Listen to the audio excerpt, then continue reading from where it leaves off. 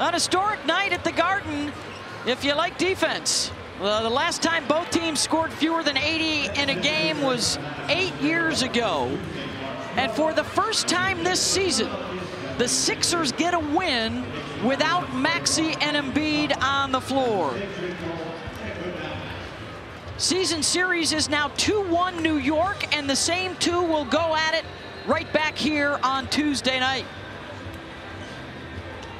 And Kelly Oubre, Katie George helping Philly move up to sixth in the East. Thanks, Beth. Kelly, what was it like playing in a game like this?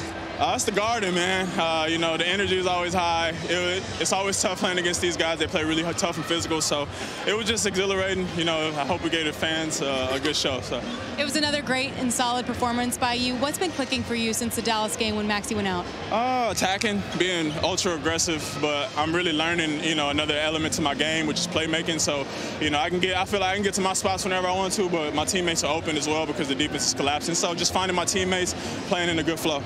You guys held the Knicks to their lowest point total of the season by a large margin. How are you guys able to do that? Being physical, uh, they came into our house a couple weeks ago, punched us in the mouth for 48 minutes, so we wanted to come out here and do the same thing. But, you know, they're a really tough basketball team. Coach Thibs is a tough coach, and JB is a tough guard. But a guarding him for 48 minutes, I need to go in the ice tub. You guys play him again on Tuesday. I'm going to let you go. You play him again on Tuesday. Can we expect a score in the 70s? No, I think we, you know Tyrese will be back. I hope uh, you know Godspeed his recovery, but uh, I hope we get him back and we I do better in the second half. I don't feel like I played the best in the second half, but you know we'll have you know uh, help. So I think it'll be a higher scoring game for sure. Get to the tub. Congratulations. Uh, thank you. Tough time for Oubre.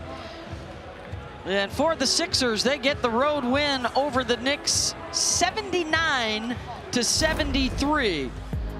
Oubre leading the way, and Tobias Harris, they both had double-doubles. Hield with 16, and Paul Reed making big plays at both ends for the Sixers tonight.